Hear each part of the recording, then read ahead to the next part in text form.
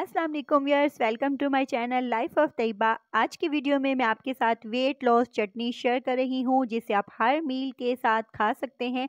और आपने सिर्फ़ एक टेबलस्पून इस चटनी का यूज़ करना है तो खाना जल्दी से डाइजेस्ट हो जाता है और हमारा वेट भी लॉस होता है। क्योंकि इसमें तमाम चीज़ें ही वो शामिल हैं, जो तेज़ी से हमारा वेट कम करती हैं। इसके अलावा आप अपने लिए सैलड तैयार कर रहे हैं या फ्रूट चाट तैयार कर रहे हैं, उसमें भी आप इस चटनी का यूज़ कर सकते हैं। मज़ीद अपने खाने को चटपटा बनाने के लिए, क्योंकि हमने वेट लॉस जर्नी को इंजॉय करना है, स्ट्रेस बिल्कुल भी नहीं लेनी है। तो चलिए मैं आपके साथ शेयर करती हूँ कि इस चटनी को बनाने का तरीका क्या है।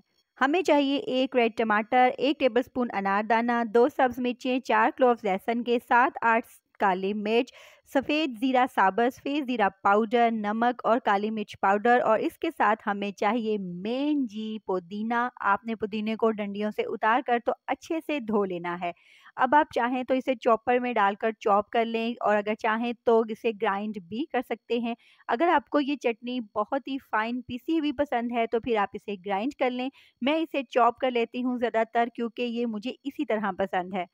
जितने भी चीज़ें इसमें शामिल की गई हैं, इससे ये चटनी बहुत ही चटपटी सी बनती है, फ्लेवरफुल होती है और इसके साथ साथ हमारा वेट भी तेज़ी से कम करती है। और मज़े की बात यह है कि हम जिस भी मील के साथ इस चटनी का यूज़ करेंगे, वो मील मिनटों में डाइजेस्ट भी हो जाएगा और हमारा वेट भी रिड्यूस करेगा। क्योंकि इसमें सफ़ेद ज़ीरा डाला है, हमने काली मिर्च डाली है, जो कि हमारा वेट बहुत ही तेज़ी के साथ लॉस करती है। और आपको ये भी बताऊँ कि पुदीना भी हमारा खाना डाइजेस्ट करने में हमारा वेट कम करने में बहुत हेल्प करता है।